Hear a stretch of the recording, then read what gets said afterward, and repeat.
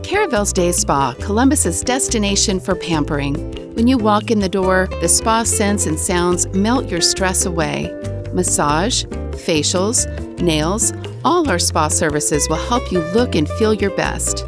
Thinking about Valentine's Day?